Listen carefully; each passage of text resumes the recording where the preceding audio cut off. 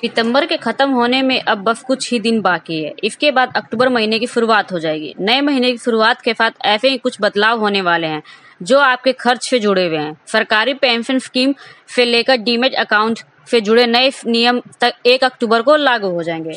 साथ ही घरेलू रसोई गैस की कीमतों में भी बदलाव देखने को मिल सकता है। क्रेडिट कार्ड को लेकर भी रिज़र्व बैंक ऑफ़ इंडिया को बड़े बदलाव करने जा रही है। हर महीने की पहली तारीख को सरकारी ऑयल कंपनियाँ रसोई गैस की कीमतों में बदलाव करती है। पिछली बार एक सितंबर को घरेलू रसोई गैस सिलेंडरों की कीमतों में किसी भी तरह का बदलाव नहीं हुआ था, लेकिन कमर्शियल गैस सिलेंडर की कीमतों में कटौती हुई थी। त्योहारी सीज़न को देखते हुए उम्मीद जताई जा रही है कि कंपनियाँ रसोई गैस की कीमतों में कटौती कर सकती है।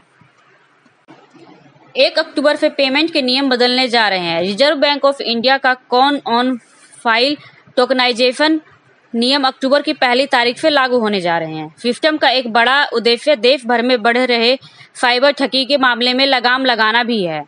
पेमेंट कंपनियों को एक अक्टूबर से कार्ड के बदले जो वैकल्पिक कोड या टोनिक दिया जाएगा, वो यूनिक होंगे और कई कार्ड के लिए एक ही टोकन से काम चल जाएगा। सिस्टम के तहत वीज़ा मास्टर कार्ड और रुपे जैसे कार्ड नेटवर्क के ज़रिए टोकन नंबर जारी किया जाएगा।